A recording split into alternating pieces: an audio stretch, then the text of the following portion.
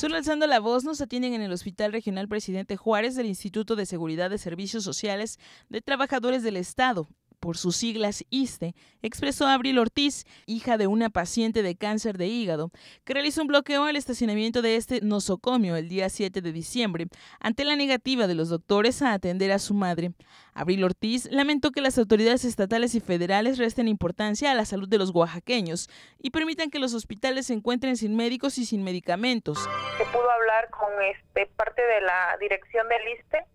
Este, un licenciado salió a hablarnos porque se había bloqueado la calle este ahí del ISTE y la puerta de donde entran los este del estacionamiento de los médicos y no dejamos salir a nadie hasta que bajaran a, hablar con nosotros por el caso de mi mamá que nuevamente ayer no la atendieron que no que no se encontraba el doctor que seguía de vacaciones. Y ese y hoy este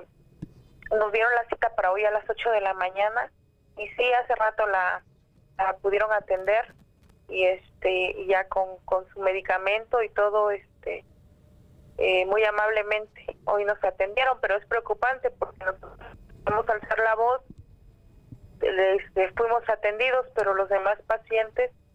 e incluso el medicamento controlado nos los dieron sin ningún problema. Y te lo habían negado anteriormente verdad sí lo que pasa es que a veces no hay medicamento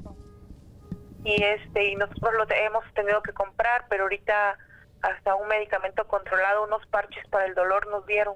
Bueno, que haya más atención, ¿no? tanto a gobierno del estado, tanto a este a los directivos del IEPO,